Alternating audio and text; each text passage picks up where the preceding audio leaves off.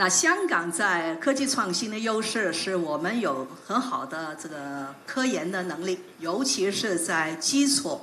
呃科研 （basic research）。我们有五个大学是在世界一百强的大学，而且里边做了很多很多的科研。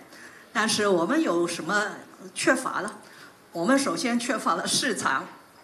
我们只是一个七百多万人的人口，那么要把他们研发的成果转化到市场，它没有一个很庞大的市场。那另外就是我们没有制造能力啊，因为这个从七十年代开始，呃，我们的这个制造业，我们的工厂已经北移到这个广东省。